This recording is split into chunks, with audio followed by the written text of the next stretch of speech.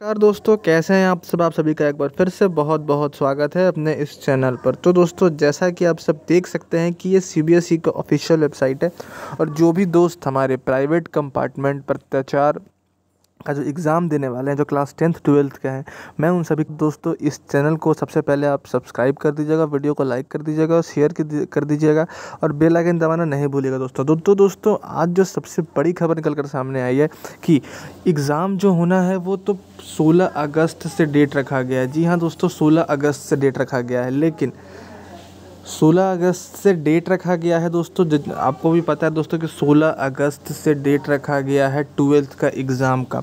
तो दोस्तों, बड़ी बात ये निकल कर सामने आती है कि थर्ड वेव जी हाँ दोस्तों थर्ड वेव के कारण सारी चीज़ों पे अब अच्छे तरीके से देखभाल किया जा रहा है, सारी प्रिपरेशन की जा रही है, उस बीच अगर एग्ज़ाम हो तो आखिर किस तरीके से सारा कुछ कंडक्ट होगा? अभी तक ऐसा कोई गाइडलाइन अभी तक नहीं दिया गया है।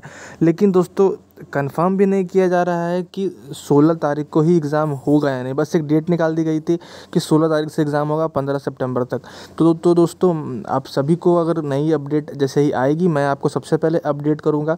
तब तक के लिए अगर आपको वीडियो अच्छी लगी हो तो वीडियो को ज़रूर लाइक कीजिए शेयर कीजिए सब्सक्राइब कीजिए और नई अपडेट का इंतज़ार कीजिए हमारे साथ। इस चैनल को सब्सक्राइब करके। तब तक के लिए दोस्तों, धन्यवाद।